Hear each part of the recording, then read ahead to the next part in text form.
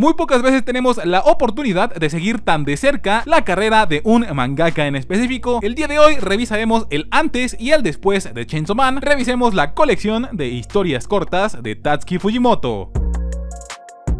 Como siempre que hay una caja involucrada en una review, tenemos que pelearnos con ella para sacarla de su prisión de plástico. Les recuerdo que se está vendiendo en paquete las dos series dentro de esta bonita caja. Por el momento no ha habido venta individual de cada una y no creo que la haya, la verdad. Así que pilas ahí, no se las vayan a querer vender sin la cajita y sin los extras. Ahorita hablamos de ellos. Pero en fin, ahora sí, aquí ya tenemos la cajita y de hecho vamos a concentrarnos de rápido en ella. Vamos a sacar de momento los volúmenes porque vi muchos comentarios en redes sociales preguntando sobre la calidad de la caja. Así que vamos a revisar lo que tenemos más cercano. Aquí tenemos la cajita de Hiraet por parte de Distrito Manga. Ya por el tacto directamente les puedo decir que la colección de Fujimoto se siente un poquito más gruesa. Fuera de eso realmente no hay mucha diferencia. La más grande obviamente viene siendo en la parte del frente, donde podemos ver que esta de Panini tiene estas pestañas interiores, tanto arriba y abajo como a los lados, para mantener una mejor integridad y que sea más robusta la caja. Aquí podemos ver que Hiraet no lo tiene, está pelona en la parte de adelante y por lo mismo, conforme más tiempo pasa fuera del mueble sin la presión de los demás títulos alrededor, se va abriendo un poquito más. Así que sí, esta de Panini tiene una calidad un poquito superior, tampoco muchísima, no vayamos a exagerar.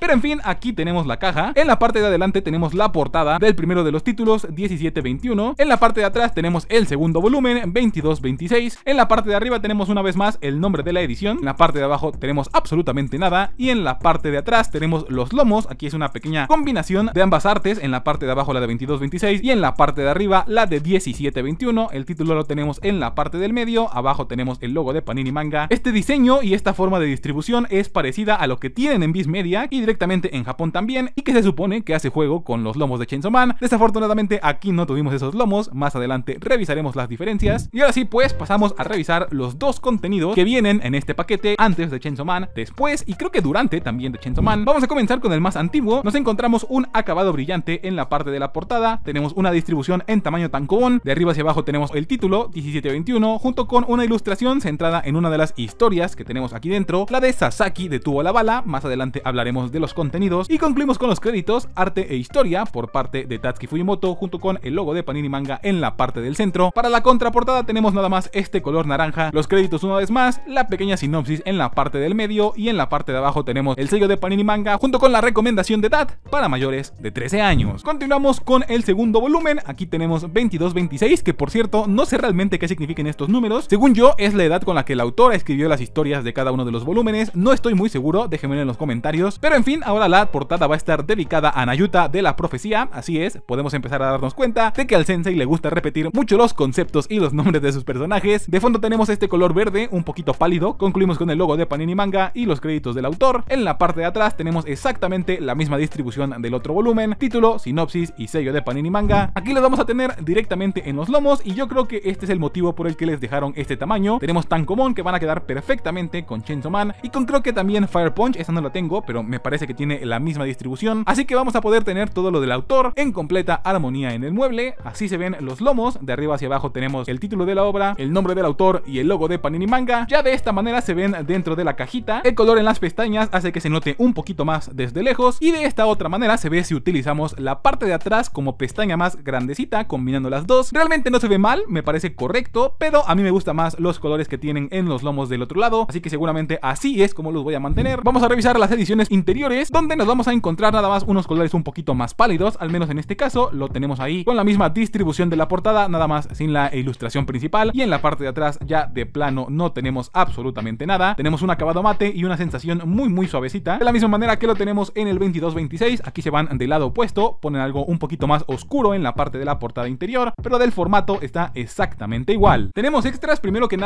entre los volúmenes dentro de la caja nos vamos a encontrar este cuadrito que eventualmente si lo desdoblamos nos vamos a dar cuenta de que es un póster de Look Back, esta otra historia que está a punto de traer Panini del mismo autor. Me parece que sale ahorita en octubre, así que esto es básicamente un tipo de promoción o algo así. Es un póster del tamaño regular de siempre, eso sí, es un poquito más delgado que el resto de pósters que hemos tenido. Aquí podemos ver algunas viñetas del mismo. Ojalá algún día Panini encuentre una manera de mandarnos pósters sin tener que doblarlo tanto, porque la verdad es que sí se notan mucho los dobleces ya que lo tenemos ahí enmarcado o algo así. Y dentro de los volúmenes, específicamente de uno, tenemos aquí el separador de la edición, va a venir en acabado mate y tiene la portada de 1721 en la parte de adelante. Por atrás nos vamos a encontrar una ilustración de dos pollos desplumados, estaban alimentados en el patio, la primera obra publicada del autor y la que va a venir incluida ahí en el primer recopilatorio. Nos quedan a deber ahí a lo mejor una postal con la portada de 2226, pero bueno, tampoco me voy a quejar. En cuanto a la producción editorial, tenemos un caso bastante particular y vamos a empezar por los créditos para aclararles un poco. Nos vamos a encontrar acreditados no a una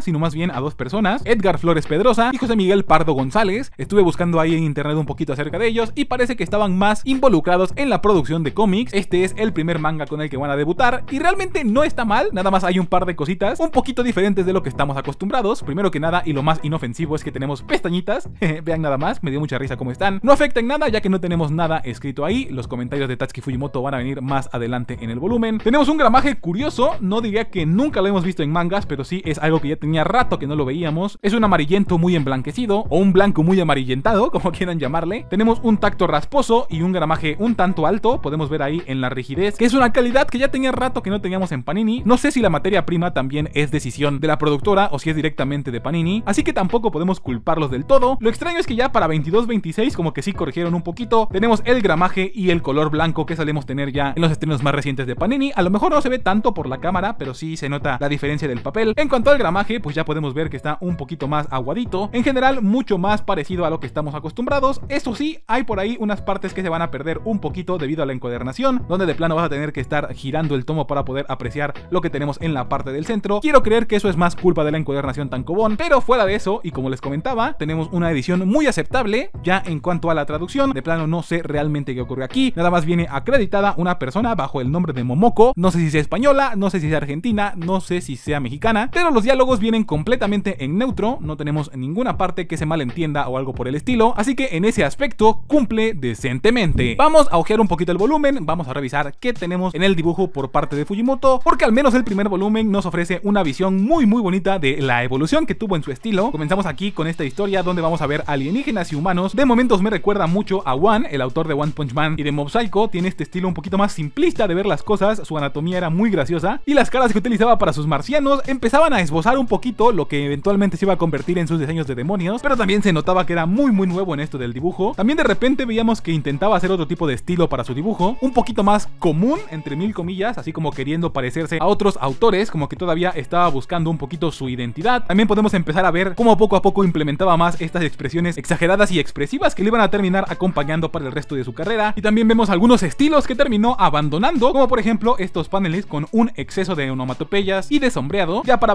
22-26 es donde podemos reconocer muchísimo más rápido el estilo al que nos tiene acostumbrados. Básicamente es el mismo de Chainsaw Man, de repente tiene algunas historias donde sí le mete algunas variaciones, como bordes más gruesos, pero el resto de sus elementos es completamente lo que venimos viendo desde Fire Punch. Y ahora sí, vámonos a revisar de qué demonios trata esta colección, aunque creo que su nombre es autoexplicativo, son pequeñas historias cortas que el autor fue realizando a lo largo de su carrera. En 17-21 nos vamos a encontrar todo lo que fue antes de Chainsaw Man y es donde más vamos a ver evolución, no tanto por el dibujo que les acabo de comentar, sino porque es un compendio donde vamos a ver un montón de ideas que no van a ninguna parte, pero que eventualmente se van a convertir en algo en sus historias más adelante. Tenemos cuatro historias, dos pollos desplumados estaban alimentados en el patio, que narra una historia posapocalíptica de dos jóvenes que se hacen pasar por pollos para que los alienígenas no se los coman como al resto de la humanidad. Continuamos con Sasaki detuvo la bala, la historia de un joven que está enamorado de su maestra y que eventualmente va a lograr cosas increíbles con el poder de su mente. Seguimos con mi favorita personal, El amor es ciego, una comedia romántica muy cortita, donde vamos a seguir la historia de un joven tratando de confesarle su amor a su compañera, pero las cosas se van a poner muy absurdas, el mundo va a conspirar en su contra con tal de que no lo logre. Y concluimos con Shikaku, la historia de una asesina que ve la sociedad de una manera muy diferente debido a problemas con su crianza, que eventualmente se va a terminar enamorando de un vampiro. También tiene por ahí toques de comedia, tiene más acción que el resto de sus obras, pero como les comentaba, este primer volumen sirve básicamente para comprender cómo es que Fujimoto llegó a Chainsaw Man. Vemos en la primera y en la última historia de este volumen que le encantan las historias de acción, de ciencia ficción y esta pelea entre razas por alguna razón, mientras que en las del medio, Sasaki y el amor es ciego, podemos ver que también le gustan muchos estos temas del coming of age, pero acompañado mucho de comedia. No sé si por experiencia propia o simplemente porque es muy buen observador, pero Tatsuki Fujimoto tiene una muy buena forma de describir esta pequeña etapa al final de la pubertad y pues juntando estos dos temas, la ciencia ficción, la acción, la comedia, el romance, pues es muy fácil ver cómo es que terminó llegando a Chainsaw Man. Mientras que por otro lado, en 22-26 tenemos por completo a un Tatsuki Fujimoto dispuesto a demostrar que no es nada más Chainsaw Man. De hecho, en algunas de las historias lo comenta, nacieron básicamente como un reto por parte de la editorial. Primero tenemos la Rapsodia de la Sirena, que es en respuesta a las críticas de que no puede crear historias originales. Básicamente aquí tenemos una historia de romance. Un chico mitad sirena, incomprendido por el mundo de afuera, empieza a encontrar refugio en el fondo del mar y tras enamorarse de una pequeña que va a encontrar por ahí, finalmente va a encontrar valor a su vida. Después tenemos la enfermedad que convierte a un chico en una chica mientras duerme. Habla obviamente sobre la identidad del género y nos cuenta la historia de un joven que simplemente un día despierta como chica y empieza a enfrentarse a un mundo que obviamente no estaba listo para ello. Esta serie en particular me parece que tiene mucho trasfondo que no terminó de explotar el autor. Después tenemos Nayuta de la Profecía, que es una respuesta a las críticas de que el autor no puede crear personajes interesantes y obviamente este trabajo se termina viendo reflejado en Chainsaw Man. Después, o antes más bien, ya apareció un personaje con este mismo nombre, aunque aquí es diferente, aquí nos cuenta la historia de una chica que tiene poderes mágicos y que va a empezar a causar problemas en la ciudad debido a que tiene una comprensión completamente distinta de lo que es la realidad. Y aquí ya también empezamos a ver que el tema de los hermanos es uno muy importante para el autor, tema que termina de explotar completamente en La hermana mayor de la hermana menor, donde narra la historia de dos chicas, una que es muy buena para la pintura y que lleva toda su vida estudiándolo, y una que acaba de entrar a la preparatoria y que recién acaba de empezar a pintar, pero que de alguna manera parece ser un tipo de prodigio. Y aquí me es imposible no notar la influencia que tuvo Blue Period en el señor Fujimoto, desde un principio la recomendó, siempre ha mencionado que es una de sus series favoritas, y sí se nota mucho que ha estado leyendo porque encontré muchas similitudes en esta historia. Así que nada, a final de cuentas, este volumen 22-26 es el señor Fujimoto diciéndole al mundo que no se va a quedar encasillado en Chainsaw Man. Pero bueno, eso ha sido todo por parte de las historias cortas de Tatsuki Fujimoto. Si ya eres fan del autor, la verdad me parece que es un material que no te puedes perder, te hace ver básicamente más claro de dónde vienen sus ideas y qué tipo de historias les gusta contar. También si no has leído nada del autor, me parece que es una muy buena forma de iniciar con su estilo para ver si después te animas a seguir con Fire Punch o con Chainsaw Man o después que venga Look Back, etcétera, etcétera. Me gustaron mucho las historias, aunque es cierto que tampoco es que sean muy profundas, son muy relajadas de leer, muy muy agradable, de verdad me parece una opción de la que no muchos se van a arrepentir. Vienes a conocer el estilo de Fujimoto y realmente créanme que lo van a conocer de esta manera. Pero en fin, hasta ahí le vamos a dejar el día de hoy. Espero que les haya gustado la review. Como siempre, ya saben que mi nombre fue Miguel Solís y nos vemos hasta el próximo video.